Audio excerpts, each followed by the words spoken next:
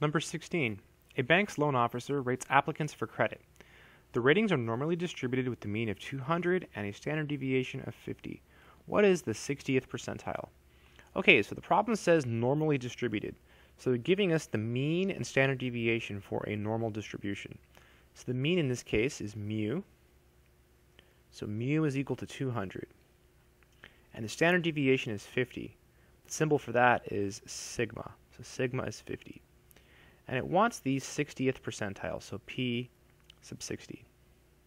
So the 60th percentile is the number such that 60% of the area under the curve is to the left, right? So 60% is going to be over here. It's always to the left, right? So if it was like P52, then 52% is to the left. If it's P7, then 7% is to the left, etc. So this area here is 0.60. So what we'll do now is we'll go to StatCrunch to get the answer. So in StatCrunch, you go to Stat, Calculators, and then you go to Normal. Then you left click, and then just enter the mean and standard deviation. So in this case, the mean was 200, and the standard deviation was 50. And we want the P60. So they're giving us the area. So the area goes in the second box, you see. Then when you click compute, the answer will appear in this box here. Let's try it. Yep, 213 if we round.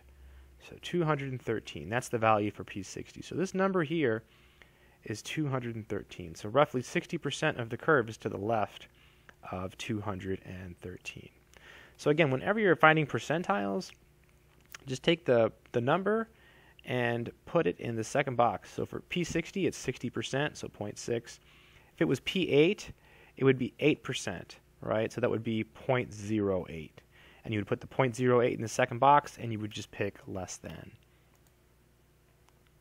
And is that one of the choices? Well, 212.7, so let me go back to StatCrunch. So 212.7, yeah, that's the same thing, right? 212.7 is the same as 213, right? That's the same thing we got, 212.7 if you round. The answer here would be choice B. That's it.